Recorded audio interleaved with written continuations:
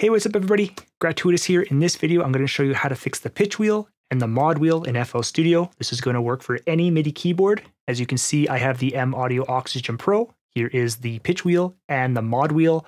If you're looking for a good MIDI keyboard for FL Studio, I really like this MIDI keyboard. It has semi-weighted keys in the 49 key model that is hard to find, and it's also pretty jam-packed with the sliders, the knobs, drum pads. So let's get into the pitch wheel and mod wheel tutorial.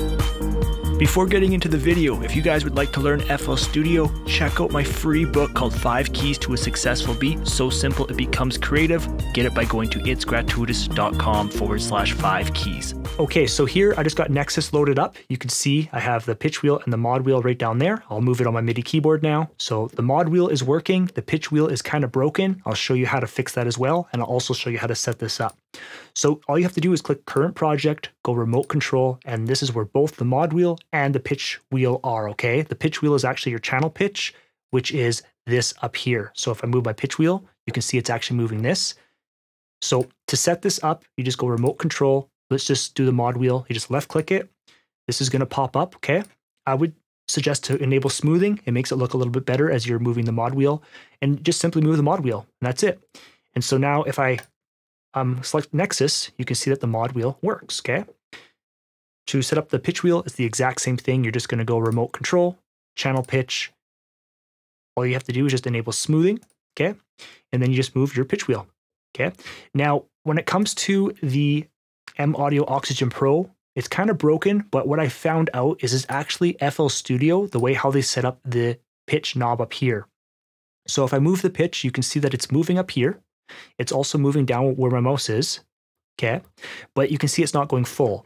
And all you have to do is just increase the range and that's it. So if we go up to like 10, you can see we can get the max and um, the minimum. So that's it. That's how you set it up.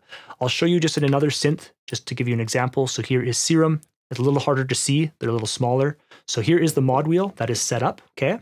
And then the pitch wheel, you can see it's only going a little bit. And all you have to do is just click the cog and here is the pitch. So we'll go up to like 10. Okay. And watch. Boom, boom.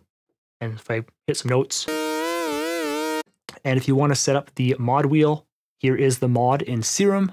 You can just put that to like detune. Make sure you actually have a couple voices. And uh, here. Okay, so that is this tutorial for how to set up your pitch wheel and your mod wheel in FL Studio. I'm gratuitous. If you guys would like to learn FL Studio, check out my website, itsgratuitous.com. I'm a recognized FL Studio trainer. I have tons of courses, tons of books. Just visit itsgratuitous.com.